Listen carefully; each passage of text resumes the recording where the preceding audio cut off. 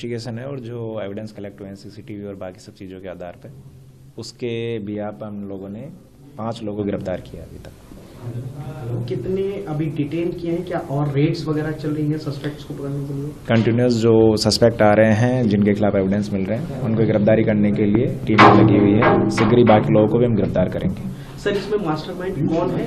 या उसके सहयोगी कितने हैं? अब्दुल मलिक का भी नाम आ रहा है, उसकी क्या प्रोफ़ाइल है, क्या रोल था उसका? देखिए, अभी इन्वेस्टिगेशन एक दिन ही हुआ इन्वेस्टिगेशन चलते हुए तो जितने तथ्य आ रहे हैं, जिस तरीके से जा रहे हैं, उस तरीके से हम कर रहे हैं।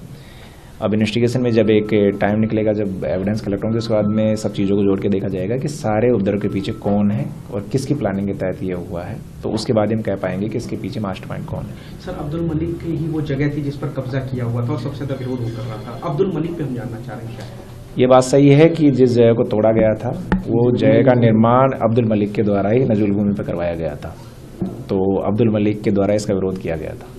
सर इसमें पेट्रोल बम जिन लोगों ने फेंका छह से सात लड़कों की भी तलाश है क्या उनको भी चिन्हित कर लिया है या ऐसे जितने भी लोग जिन्होंने पेट्रोल बम फेंका है या पुलिस पे इलीगल वेपन से फायरिंग की है या पत्थरबाजी की है हम सब लोग आइडेंटिफाई कर रहे हैं और सबके खिलाफ हम सख्त सख्त कार्रवाई करेंगे। क्या इनमें से कोई मेन आदमी पकड़ा गया है जो वीडियो में आया हो फेंकते हुए या गोली चलाते हुए? कुछ लोग हैं हमारे मतलब कब्जे में उनसे हम एविडेंस कलेक्ट कर रहे हैं और उसके हिसाब से हम उनको बाकी चीज़ों में इन्वेस्टिगेशन में शामिल कर रहे हैं। लास्ट सवाल डिटेन कितने हो तक?